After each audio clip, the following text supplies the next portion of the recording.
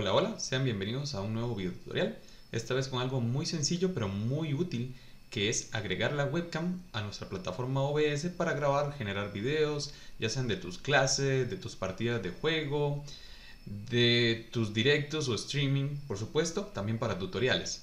Es muy sencillo, ya estamos dentro de nuestra plataforma del OBS, vamos a ir a fuentes y en fuentes vamos a agregar el dispositivo de captura de video que es lo mismo que nuestra webcam.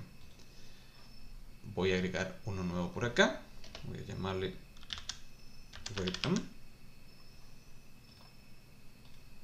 Por aquí me va a preguntar dentro de estas características el dispositivo. Si únicamente tienes tu webcam es muy probable que lo detecte de primera.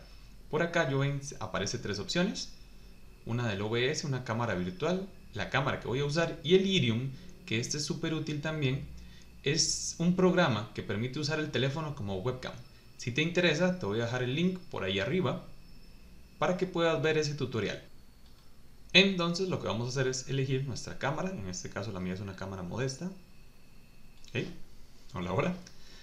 La cámara, cuando se activa, yo puedo manipularla y moverla donde quiera. En este caso, como pueden ver, es un poco rectangular. Vamos a hacer un par de detalles para mejorar esto. Recuerden que el video vamos a ver no solo cómo insertar la cámara, sino cómo poner marco, cómo poner LUTs y algunos detalles extras. ¿ok? Lo primero que vamos a aprender es cómo ponerle un marco más personalizado. Una sugerencia que dan es cuando creas tus videos, ya sea clases, tutoriales, es que aparezca tu rostro. Parece que genera un poco más de empatía e identificación más con el usuario que ve los videos. Entonces es una buena recomendación tratar de usarla. El OBS nos permite crear algunos filtros para mejorar la cámara. Voy a ampliarla un poquito más para que puedan notar la diferencia.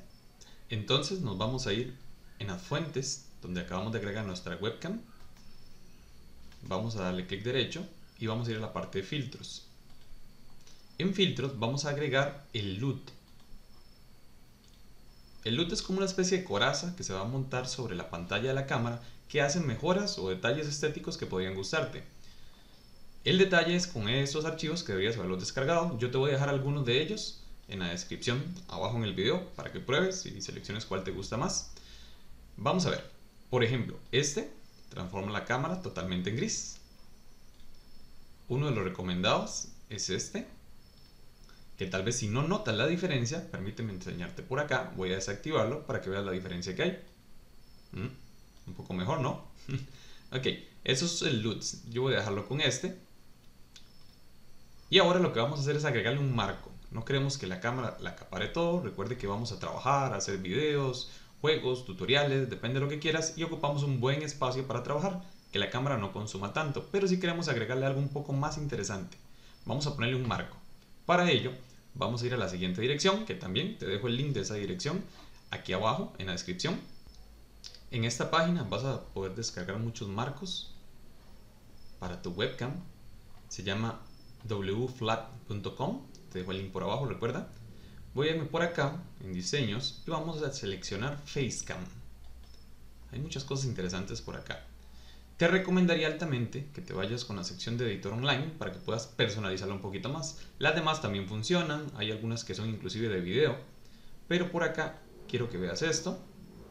Vamos a personalizarlas un poquito más.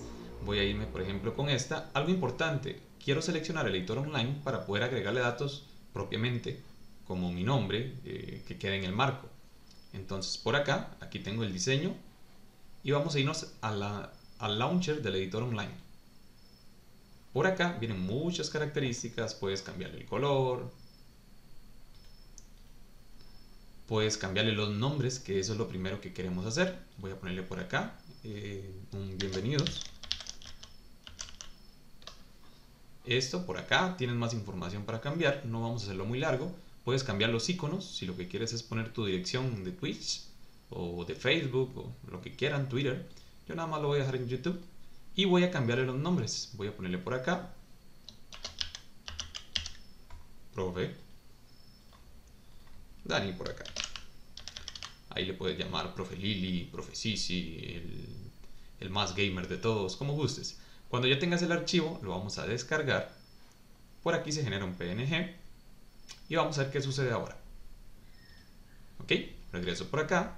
Ahora lo que vamos a hacer para utilizar ese marco que acabamos de descargar, voy a irme a agregar una imagen y voy a agregar una por acá que le vamos a llamar marco. Voy a seleccionar, no precisamente ese que acaban de ver, pero uno muy similar que tengo en mi escritorio.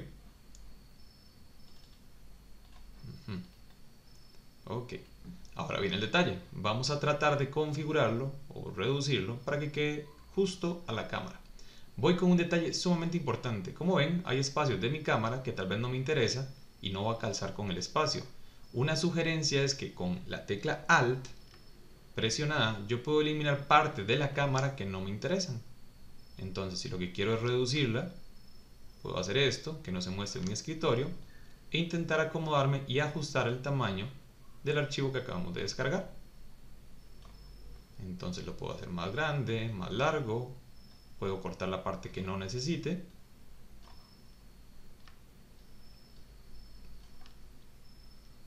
Más o menos, algo así. Y como ven, la cámara ya está ajustada. Obviamente podemos reducir el tamaño si queremos hacer videos de tutoriales o clases, pues aparentemente esto es un espacio muy grande, lo puedes reducir. Cuando ya estás seguro de que la dimensión es lo que buscas y es correcto, recuerde ponerle el candadito para que ya no se pueda modificar. Entonces, eso sería todo por hoy. Un pequeño tutorial muy útil cómo agregar tu webcam a tus videos. Nos vemos pronto. Saludos.